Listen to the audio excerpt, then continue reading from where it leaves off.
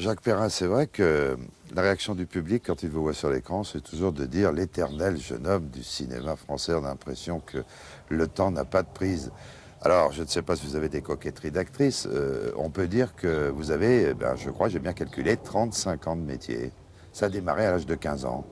J'ai 35 ans de métier, je pense que j'ai un peu plus encore d'années de contact avec la profession, avec le théâtre, puisque mon père était régisseur à la Comédie Française et ma mère était donc comédienne. Donc on peut dire que je berce un peu dans cet univers depuis, depuis une cinquantaine d'années, même 50 ans précisément d'ailleurs. Oui, théâtre à 15 ans et cinéma à 16 ans.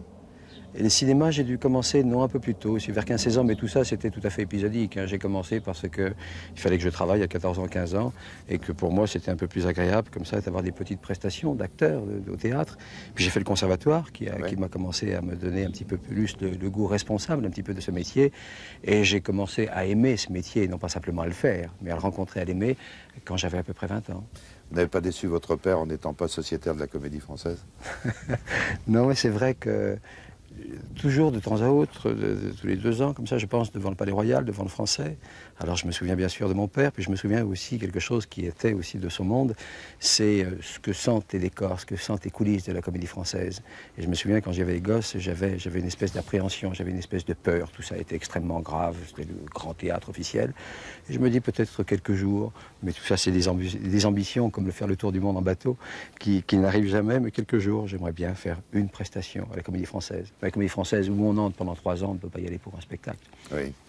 Alors double carrière, euh, si on peut dire ça d'ailleurs, carrière d'acteur évidemment, carrière de producteur, et quel producteur, peut-être un aspect que le public connaît un peu moins de vous, quoique euh, on parlera beaucoup en deuxième partie de, toute cette activité de producteur, producteur audacieux, courageux et qui compte à son palmarès quelques beaux trophées, euh, deux Oscars si j'ai bien compté, mais là n'est peut-être pas l'essentiel, c'est peut-être de définir ce qu'est la production. Y a-t-il une morale en production? Vous avez en tous les cas une politique de production. Nous parlerons de cela tout à l'heure. L'acteur, ça reste un besoin, une nécessité de continuer à apparaître alors que votre métier de producteur vous, occupe déjà beaucoup. Pourquoi vous continuez sur le plan acteur? Je continue parce que je crois que c'est vraiment le, le, grand métier ou la grande joie que j'ai rencontrée. Et je crois qu'avant tout, je suis euh, acteur et que je pense continuer à être acteur. Et je ne suis que producteur qu'occasionnellement. Mais il se fait que cette occasion se présente souvent. Je n'en suis pas tout à fait responsable, à savoir que ce sont des projets ou des sujets ou des personnes qui se présentent à moi et que je me sens dans l'obligation de produire ces films.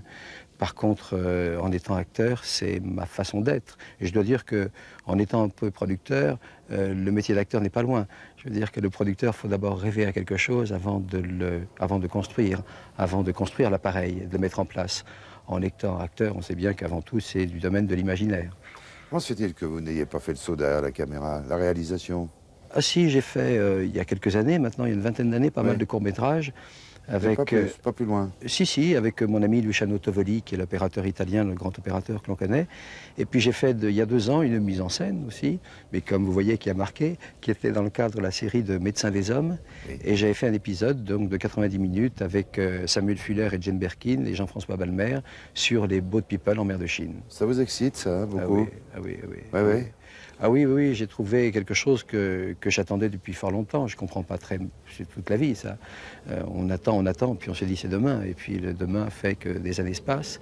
Je voulais faire de la réalisation. Je pense que de, quand je fais même de la production, d'une certaine façon, je conçois la production comme étant une mise en scène une mise en scène de préparation. Et donc, euh, il fallait que j'aille plus loin que cette préparation et à, et à, faire euh, cette mise en scène. Puis je suis persuadé qu'en étant acteur et en étant producteur, en fait, j'ai fait un long apprentissage avant de devenir réalisateur. On verra si je le suis vraiment. On va revenir sur tous ces points en deuxième partie. 1989, euh, Festival de Cannes, un inconnu, Giuseppe Tornatore, arrive avec un film, Cinéma Paradiso. Les festivaliers habituels, les sociétaires ne savent pas très bien qui c'est. Euh, on sait simplement qu'Ettore Scola l'a un peu parrainé euh, pour qu'il soit sélectionné, puis c'est un coup de tonnerre. et on trouve dans ce film Jacques Perrin. Quoi. Quand vous avez rencontré Giuseppe Tornatore? Le, film euh, de, de Tornator, on a l'impression que c'est un film qui est un regard nostalgique comme ça sur une enfance. On porte tous en nous. Qu'on porte tous en nous. Quand on sait que Tornator a 28 ans, avait 28 ans quand il a fait le film, ce qui est tout à fait, tout à fait remarquable. Et donc, euh, Pourquoi il m'a choisi Je pense qu'il aimait toute une période du cinéma italien dans laquelle j'ai eu la chance de participer, qui était la période des années 60. Après le néo-réalisme, il y a eu le réalisme des sentiments, celui de Bolognini, celui de Vancini et celui de Giordini. Et donc, comme j'avais fait des films qui avaient marqué à l'époque l'Italie, qui était La fille à la valise, le Chronique familiale, il s'est souvenu de ces films, du jeune garçon que j'étais à l'époque. Vous étiez donc englobé dans sa nostalgie. Et j'étais dans sa nostalgie, et j'étais presque le témoignage, avec des cheveux blancs, de cette époque qu'il essayait de relater à travers son film.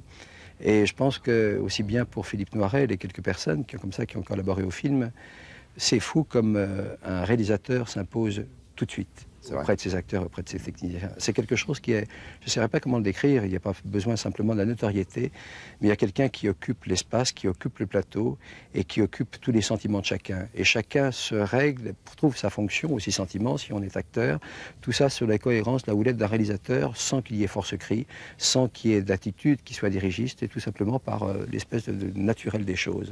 Alors c'était vrai au niveau du scénario, parce que je pense que le scénario était déjà une merveille. Vous pensez que la grande idée du scénario, c'était la fin. Ces baisers découpés par, par ce prêtre qui coupait tout, euh, parce que Censeur coupait tous ces petits baisers qui étaient, qui étaient horribles à l'époque, qui n'étaient rien d'autre que Gary Cooper qui, qui embrassait Olivia de Havilland. Et puis après ces baisers collés, c'est à partir de cette idée que lui est venu le film. Et qu'il est venu, c'est la nostalgie d'une époque qu'il avait à peine connue. Parce qu'en fait, tout ça, c'était aussi très fantasmé. C'était d'autres époques de réalisateurs comme Scola. Et, euh, et du scénario, et je vous disais de sa présence, c'est vrai que c'est un... La Sicile et la Sicile. Mais même, vous savez, euh, la Sicile, combien de fois on peut aller, euh, soit au niveau documentaire, soit au niveau de la fiction, avec des réalisateurs qui vont dans des beaux endroits. Et il reste tout au plus que de belles images. Mais il n'y a pas que ça dans un film. Et Tornator a apporté ce qu'il y avait en plus de la Sicile, la chaleur des personnages.